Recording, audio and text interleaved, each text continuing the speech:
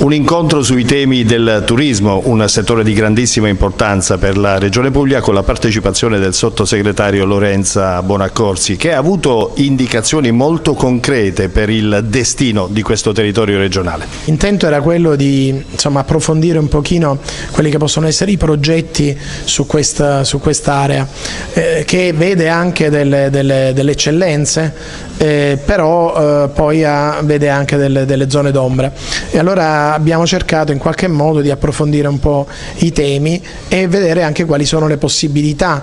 eh, di, di, di, sviluppo di, di quest'area. Eh, Brindisi insomma, sappiamo ha tante potenzialità ma non riusciamo ad esprimere al meglio. Ecco, secondo me serve uno shock, qualcosa che in qualche modo eh, dia eh, la motivazione eh, forte per poter poi venire in questa città e poi, poi visitare visitarla perché chiunque poi la visita eh, ne, ne, ne, rimane assolutamente ben impressionato. E noi eh, abbiamo fatto tante attività anche di livello internazionale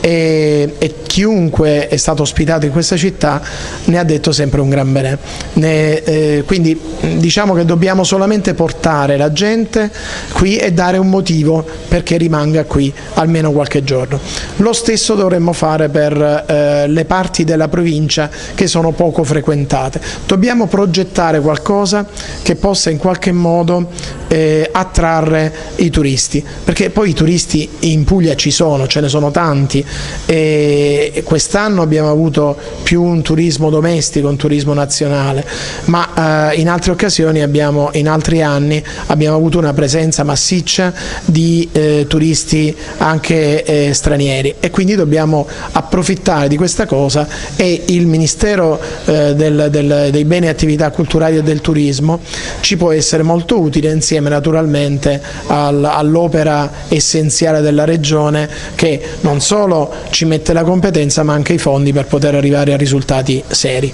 Cultura, arte, spettacolo sono voci che rimandano inevitabilmente all'esperienza personale, alle competenze di Carmelo Grassi e al tempo stesso costituiscono elementi di grande importanza su un piano turistico generale per l'affermazione della Regione Puglia e del nostro territorio provinciale. Non c'è dubbio, veramente in questa campagna elettorale ne parliamo poco, eh, ci sono forze politiche che non ne parlano per niente, quindi sono contento di buttare un sasso nel, nello stagno per arrivare a risultati seri. La cultura, lo spettacolo e ovviamente insieme al turismo che poi è, è il fatto economico, il, il, il, motore economico di questo, eh, devo dire eh, che sono stati essenziali in questi ultimi 15 anni per cambiare il volto e l'attrattività di questa regione. Quindi credo che sia un argomento di cui bisognerebbe parlare e bisognerebbe anche progettare il futuro del, della nostra regione in questo ambito. Insomma diciamo che eh, abbiamo tutte le competenze per poterlo fare al meglio e mi auguro insomma, di poter dare un minimo contributo in quest'ambito. Come vive Carmelo Grassi questa esperienza? Molto male, non, non, sono, non è nelle mie corde fare, fare campagna elettorale, fa, forse perché ho fatto tutt'altro nella vita e arrivo a questa scelta eh, molto tardi, però io credo che questo fosse il momento giusto per poter dare una mano e per poter continuare un, un percorso che io ho fatto in altra veste ma che comunque ha dato risultati straordinari a questa nostra terra e quindi dobbiamo cercare in qualche modo modo eh, tutti quanti di dare un contributo, chi con il voto e chi con un impegno diretto personale mettendoci la faccia. Sono davvero contenta anche essere qui eh, per eh, insomma, essere accanto alla candidatura eh, alla Regione Puglia eh, di Carmelo, eh, davvero ehm,